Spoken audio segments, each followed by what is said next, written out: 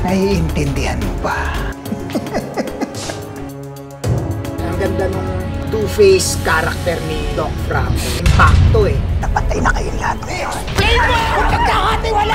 Aside from being the kontrabida of this series, may ano din kasi eh, challenges din yung character ni Doc Franco. Ay, hindi mo din kasi maintindihan yung character niya dito. Parang minsan, ah, lovable siya dahil nga sa mata ng mga followers ng Nexcelsium, magaling siyang doktor, mabuti siyang doktor. Portia drugs! Kapal ng mga mukha. Sila na nga tinutulungan. Sila pa'y nag-iinarte. Ewan ko lang kung hindi siya mapapatay sa kanyang mga nagawa. Their God is money. May, may good heart pa rin. Nakita ko naman yun kasi nung na- nagkaroon ng accident.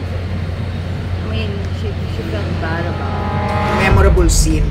Ito kasi yung ah, scene na hinampas ko ng folder o envelope si si Myrtle, si Portia doon sa Nexcelsium office na nung rehearsal kasi medyo walang laman yon nung take paghawak kong ganon eh may pinag, pinadagdagan pala ni direct ng mga folder sa loob. What what? Kaya paghampas ko sa kanya, medyo solid. So, parang ako mismo may may shock. Parang, sabi ko parang napalakas yun ha. Pero nakakatuwa dahil uh, very realistic and I admire uh, Myrtle so much. Alam mo, kapag tumatanda ka, nagiging bobo ka. Napaka-professional niya. Hindi lang doon sa eksenang yun. Doon sa buong role, kumbaga buong karakter niya. So, bilib na bilib ako kay Myrtle as, as uh, Portia. Uy, ano ba? To, tama na! What? Tama na! Si Seb, ito recently lang. Kasi yung, syempre yung was, sisigawan kami. Unfortunately, not carried away ako, nasampal ko siyang isang bansa. Kasi, oh, I'm sorry. So, ayun, and I said, no, no, no, it's okay. Siyempre, na natakot ako, nagulat din ako sa sarili ko. They're amazing.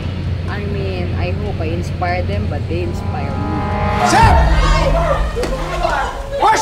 Be honest, magugulat kayo sa pupuntahan ng karakter ni Doc Franco. I guess marami ring matutuwa.